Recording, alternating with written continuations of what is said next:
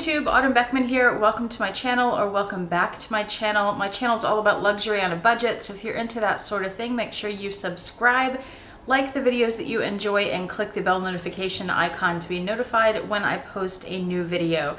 Today I'm doing a wear and tear on my two Neverfulls, but I'm going to focus mostly on this one because I bought it brand new uh, three years ago, so I'll do a three, three year wear and tear, whereas this one I purchased pre-loved and it's a little harder to do a wear and tear on that because I don't know what this bag went through before it was in my hands but I can show you some of the wear and tear on it. I know the Neverfull is one of the most popular Louis Vuitton bags and before people drop that kind of money you want to know what to expect from the bag and will it last. I will say that this Neverfull I haven't been using as much lately but I used to use it all the time. It was pretty much a daily bag, and I've been very impressed with how well this has held up. The Azure Neverfull I have used less, but that's only because it's Azure. I tend to wear dark colors, so I don't reach for a light colored bag very often. Let's start going over the Ebene Neverfull. Again, I purchased this brand new three years ago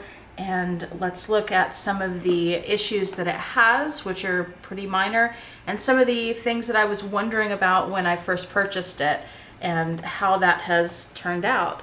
Um, I think you can see that looks like a scratch and then down here it looks like some white scratches on the corners. The white stuff is just from how I store the bag. I have it up in a shelf on my closet and it rubs against the drywall. So that will come right off with just a little bit of rubbing. Some of the white that you're seeing too is just glare. I just rubbed on this bottom corner, those two marks that you saw, the vertical marks came out, but you can see that there's still some marking on the corner there. Those corners are going to get wear because this bag doesn't have feet. There's no protection other than the coated canvas here. So that will get some wear over time. And I do not baby my Neverfulls, especially this one. I treat this like a workhorse. So this thing gets thrown around. I'm one of those people who puts bags on the floor when I don't have anywhere else to put it. I'm okay with that. Just wipe it down like with an alcohol-free baby wipe as long as it's not Vachetta. I wouldn't put that on the floor. But let me give you, I guess, an overview of the bag first so you can see. And this is that corner that has the wear on it. I see a little rubbing on one of the other corners. This corner here, maybe it's a little difficult to see, but there's a little bit of rubbing on the pattern where it sort of looks black. Um, if you don't know, these coated canvas bags, the, um, the checkerboard print, which is actually made up of lots of little lines you can see there, that sometimes will rub off in areas that get worn a lot, that are touched a lot, like not with your hands, but where it rubs against things. So that is just the, the color underneath the paint or whatever material is used to make the checkerboard pattern. So that was the bottom of the bag and the bottom corners. Here is the front. I mentioned the scratch right here. That happened within the first few months of me getting the bag. I took it on an airplane and that scratch happened on the airplane when I put it under my seat.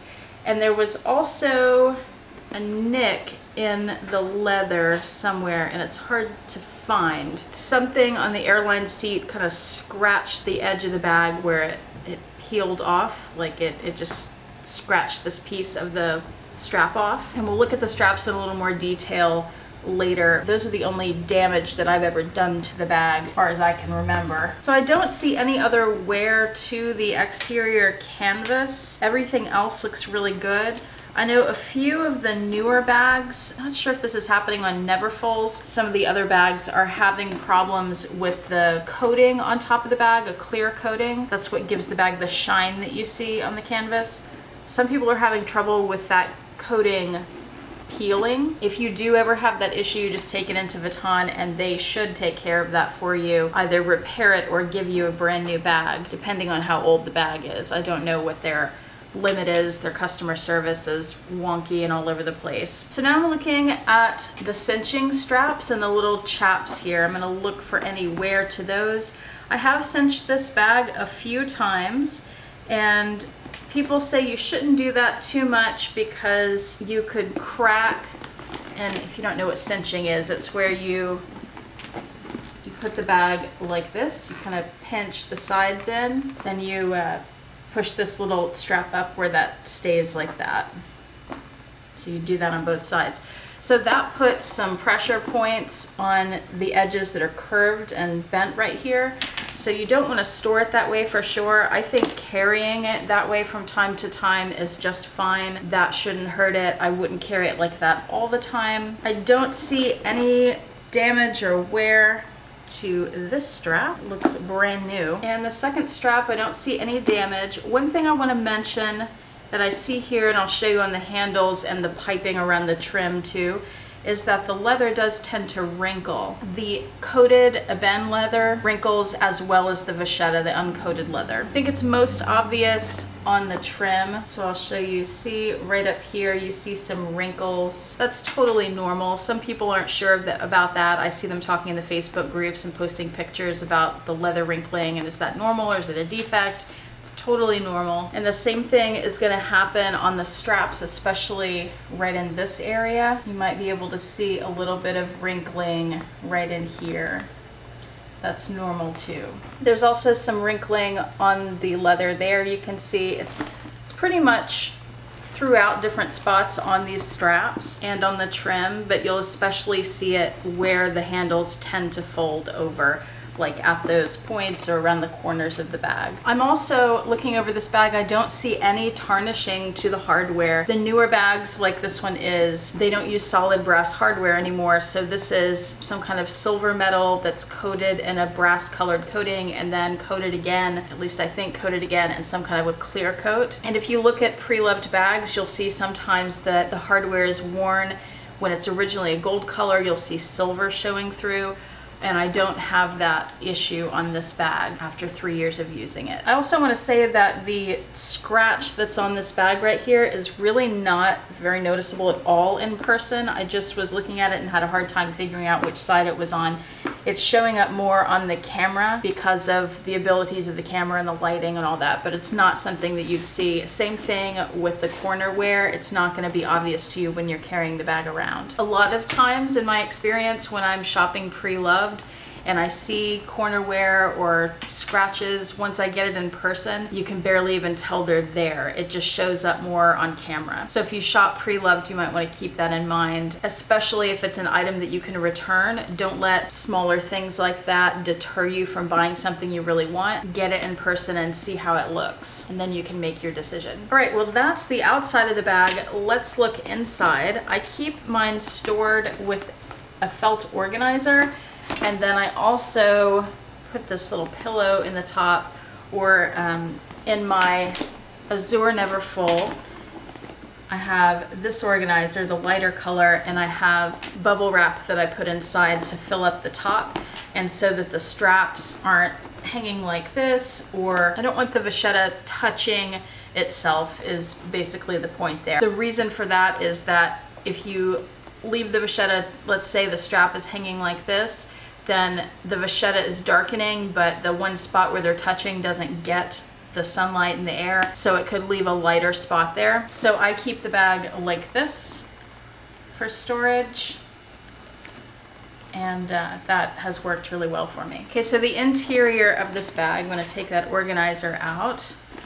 The interior looks like this. I don't have any staining. I'm careful to keep my things either in the felt organizer or in pouches. I don't have things just laying around in my bags. I also, unless I'm like in a hurry and don't have another place to put it, I don't throw my keys loose. I always have them in a pouch so that they don't scratch or discolor the bag because keys are dirty and you know they can discolor.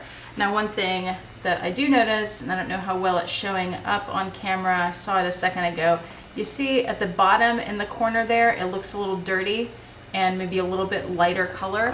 That's from storage, dust getting in, or from using it out in the world, dust getting in.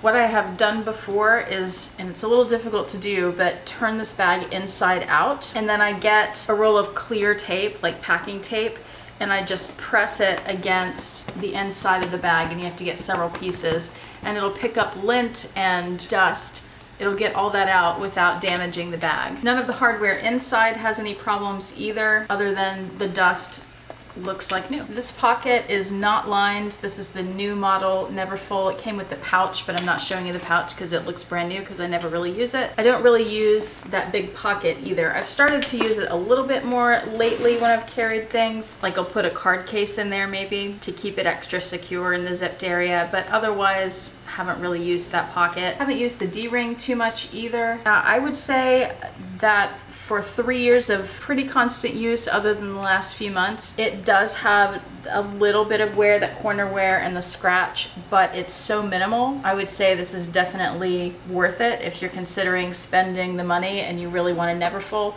The Ebene one, because of the coated leather, is especially sturdy. I know some people have talked about having problems with the Ebene straps digging into their shoulder. I haven't had that problem at all. I've never found this bag uncomfortable other than when I've just put too much stuff in it and it's too heavy. But I don't think that the Ebene straps are really any less comfortable than the Vachetta straps. The Vachetta straps are much softer and they feel nice. I've never found either of them uncomfortable. One thing that I wondered about when I bought this bag is these Ebene straps would stand straight up even a little more than they're doing now. Now they lean a little bit and you can see that there's a little bit of an arch inward. I've seen people with Ebene bags where the straps are just as floppy as the Vachetta ones where they'll hang over like this, the Ebene ones. But that has definitely not happened to my bag yet. I think it probably will after many more years of use, of a lot of use, since I have seen a little bit of a difference in that, but overall they do tend, they do tend to stand up. And when I store it, I keep them pretty much up like this. Now again, on this bag, I won't go through every detail because I don't know its story, but I'll show you some of the wear that it does have. One of the things that people worry about with Vachetta bags is patina and marks on the Vachetta. And people also worry about color transfer on the Azure. I don't think I've had either of those too much. I don't think I've had problems with them. Um, this is the back of the bag here. So this is the side that has the pocket on the other side of it. Does that make sense? So this is where I would get color transfer because it would be up against my clothing. I am careful not to wear things that are brand new and haven't been washed a few times with my azure pieces because I'm aware of that color transfer issue. The only thing I would say, and again, it's hard to say because I don't remember quite what shape this was in when I purchased it, and I don't know that this is going to come across really well, but I noticed recently when I carried this bag that this chap seems to be a little bit darker than the other one, and I wondered if that was a bit of color transfer or if it's just dirty. I do think looking at this that I should probably clean it, but I'm not sure exactly how I would want to do that. With the Vachetta, sometimes you do want to clean it, sometimes it gets dry and cracked, there are places on this that look a little dry to me at first, but I think it's just regular wrinkling. So like right here along the trim, same place that I showed you on the Ebene bag, it has that wrinkling. Um, again, I don't know how well that's really showing up, but it almost looks like it's about to crack, but then when I start to move it around, it's not cracking and it does feel supple still. It, it doesn't feel dry. So I'm really not that worried about it.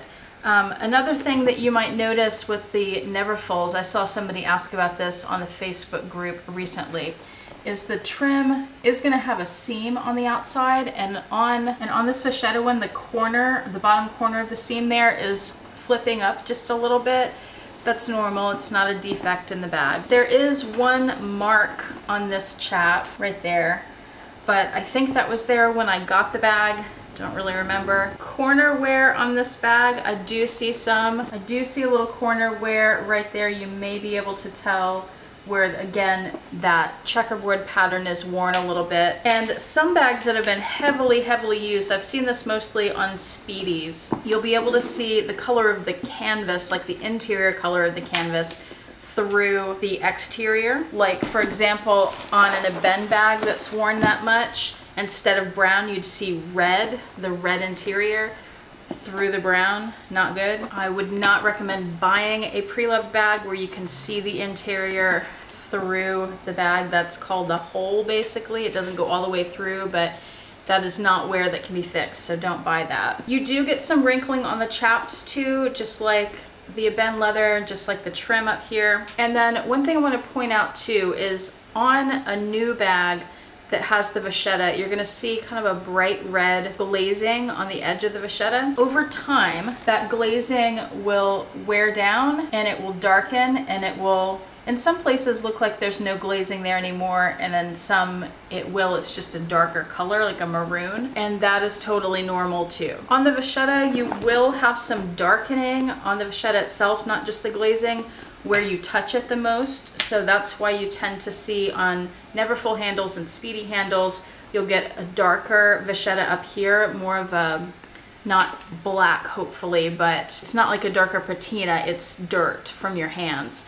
So that's something to look for. Again, it's normal, but it depends on what kind of wear you're looking for in a pre-loved bag. And it's my understanding that if you wear lotions on your hand, that will happen more often. So I do always make sure I have clean hands when I touch vachetta. Some of the wear that I see on this is so subtle that it's not gonna come across on camera very well, but on the little chaps here, um, just right along this edge that would stick out a little bit because it has the D-ring inside of it.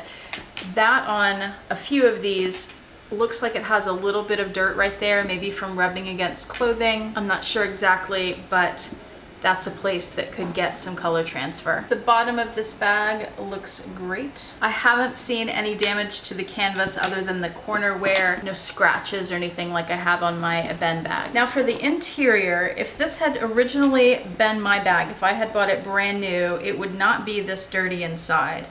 Uh, I got a really good price on this from Tradesy and overall the condition was great enough and the price was great enough that I wanted to purchase it. But it does have some dirt inside. You can see a little bit of staining. Nothing really bad. It's minor stuff from whatever the lady before me had in this bag. And this is the older style bag that has the flowers on the interior and the Louis Vuitton inscript and I'm going to show you the interior of the pocket.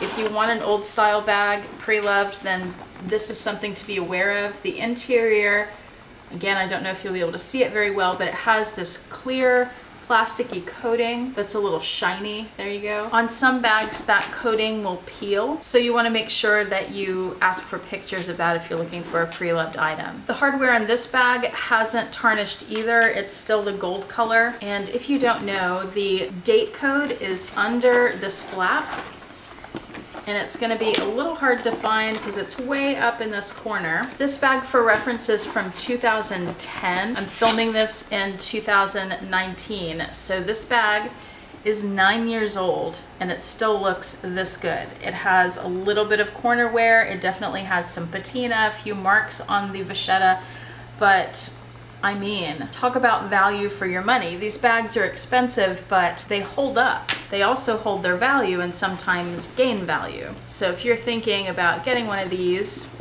that's a good reason. It's a few good reasons. My Ebene bag, let's look at the date code on that. The tag is in the same place there under the flap. This one's harder to get to it's sewn in a little higher. This is from 2016, so that would make sense that it's three years old since I'm doing a three year wear and tear. If you already have a Neverfull, how old is it and what wear and tear have you seen on it? And if you're thinking about getting a Neverfull, what questions do you have about the wear and tear? Leave all that in the comment section below and I or other people in the community can help you out with that, I hope. Thanks so much for watching. Good luck on your Neverfull hunt if you are hunting for one. I do highly recommend those bags bags. They're workhorse bags. They hold up well. They're lovely. I think they're worth the money. Thanks so much for watching. Have a fantastic day. Bye.